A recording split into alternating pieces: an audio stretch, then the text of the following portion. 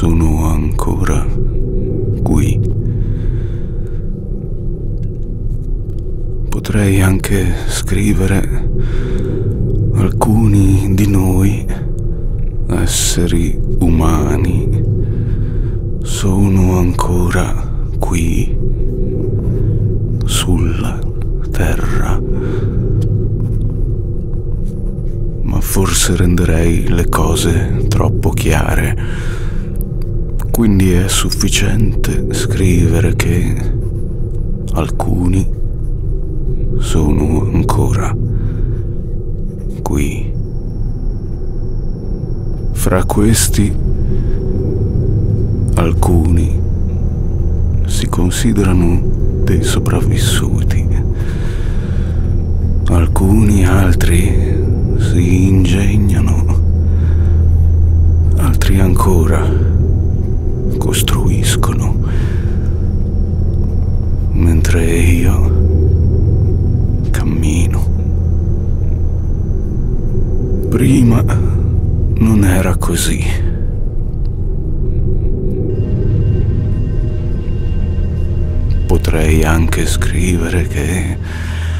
prima delle intersezioni la terra era diversa.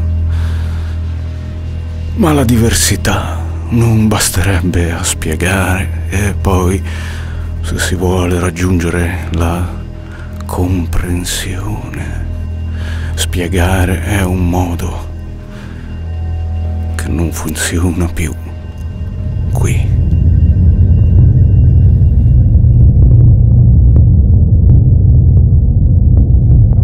Vivo in un mondo apparentemente inospitale, in cui le montagne e le pianure si sono mescolate, mentre i mari, i fiumi e i laghi si sono nascosti e le opere sono evaporate nell'astrazione.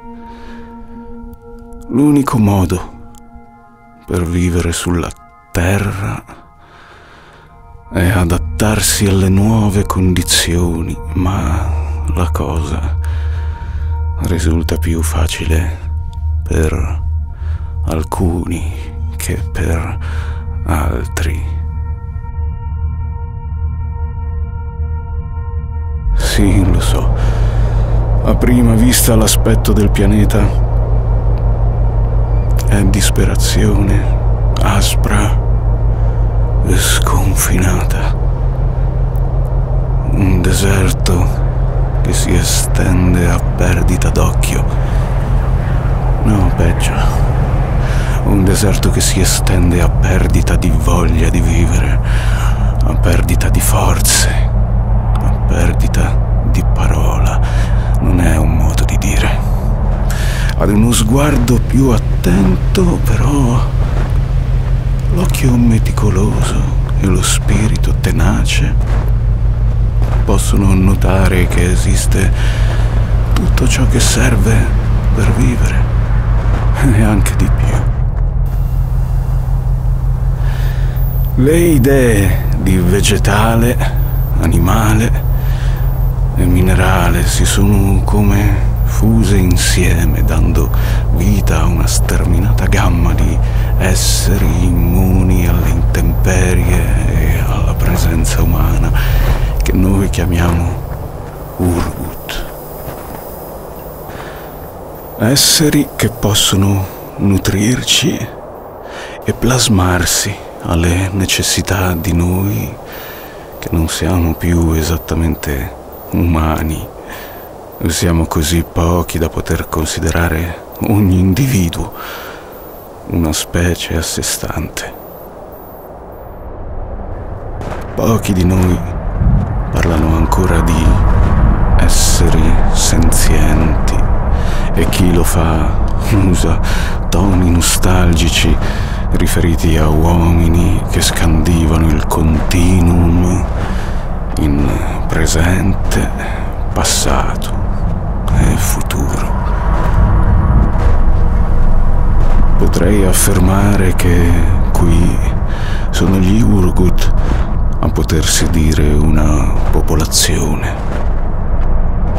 Ed io scrivo di questo per far sì che qualcuno legga nel fortuito caso in cui alcune forze portino queste parole impresse sulla carta di Urgut a qualsiasi lettore o viandante nel continuum.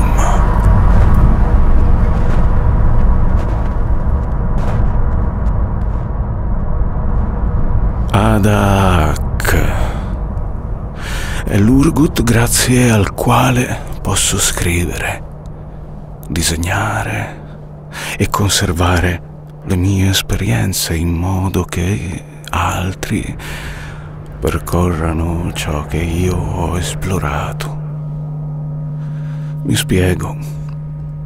Si tratta di un Urgut radice che cresce sottoterra una volta raccolto e ridotto ad una lamina, la DAC viene esposto all'aria e al sole fino alla completa essiccazione, fino a che non assume la consistenza di ciò che, prima delle intersezioni, veniva chiamato carta.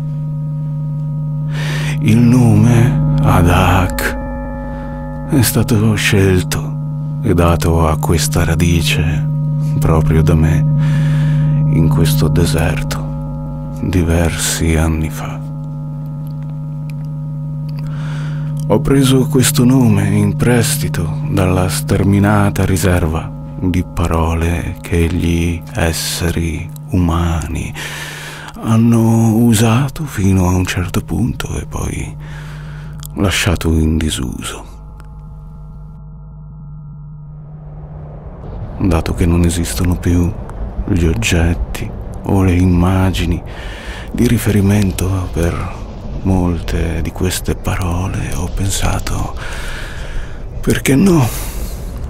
Perché non usare nomi pressoché dimenticati per definire nuovi oggetti, esseri o fenomeni?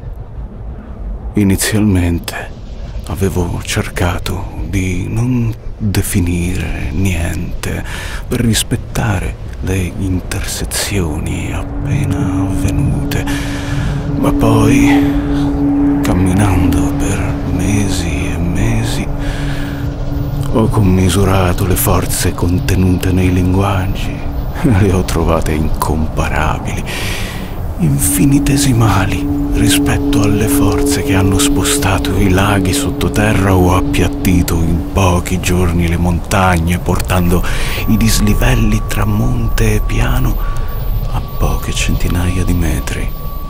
Provate a fermare il vento con le parole e vedrete che non serve alcuna cautela linguistica. Il vento soffierà indipendentemente da come lo chiamerete. L'unica cosa che sono riuscito a cambiare con un nome è stato il mio atteggiamento nei confronti del camminare. Ma sto divagando.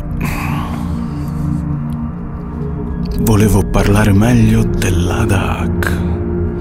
È un Urgut molto diffuso che cresce praticamente ovunque io sia stato lo si trova spostando un po' di terriccio con le mani in corrispondenza di alcuni piccoli germogli pietrosi. Gli esemplari più voluminosi, tuttavia, si trovano più in profondità, in gruppi di una decina di esemplari. Una volta trovato uno di questi mm, giacimenti, ne segno la posizione su una mappa, per poi tornare a raccoglierli quando tutti i miei grandi fogli vuoti si saranno riempiti di disegni e appunti. È buffo, no? Ho una mappa che consulto per trovare gli Adak che uso per disegnare la mappa Ma è proprio così che ho cominciato a viaggiare.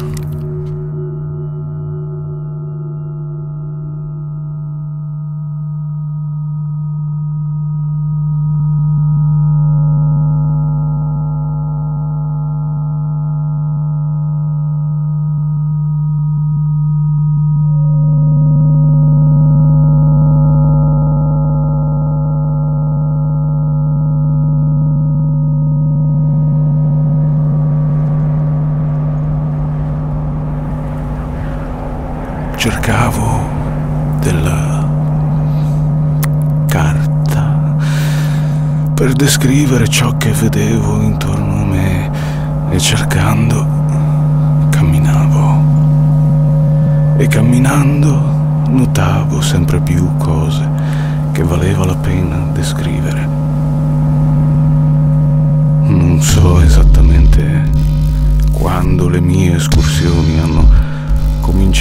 Cucirsi insieme per diventare un unico continuo viaggio di esplorazione. Non che io abbia poca memoria o poca attenzione, anzi è solo che si sono perdute le idee di casa e di ritorno su un pianeta mescolato e completamente da rimappare.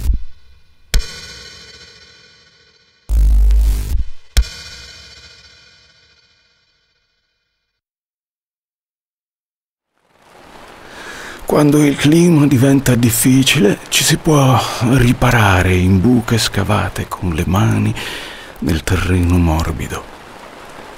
In questo senso io ho centinaia di case, ma allo stesso tempo una sola. Questa.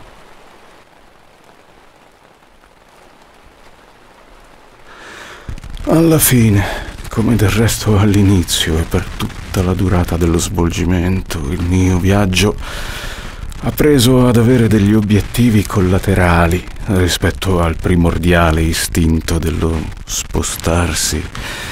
Raccolgo osservazioni e dati che alcuni, altri possono trascrivere ed utilizzare.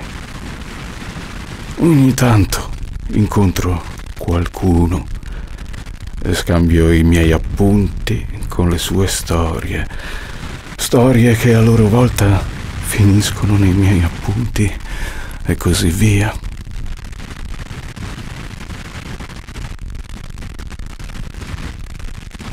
A volte riesco quasi a dimenticarmi come fosse prima.